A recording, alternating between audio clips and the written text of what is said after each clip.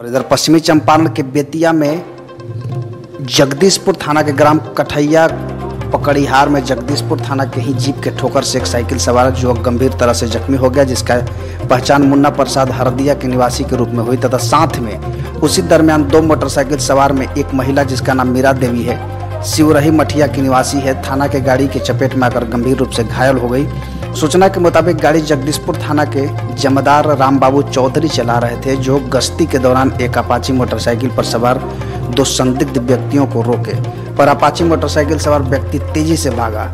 शक के दरमियान पर अपाची मोटरसाइकिल का पीछा करने के कारण यह घटना घटी। थाना जमादार भी बुरी तरह जख्मी हो गए थे।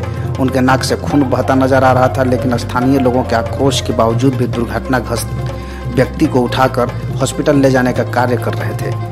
परंतु दुर्घटना होते ही आक्रोशित स्थानीय लोगों ने रोड जाम कर दिया। जिला प्रशासन को सूचना मिलने ही हालत को नियंत्रण करने के लिए जिला प्रशासन द्वारा बेतिया से सैकड़ों की संख्या में महिला एवं पुरुष पुलिस बल को बुलाया।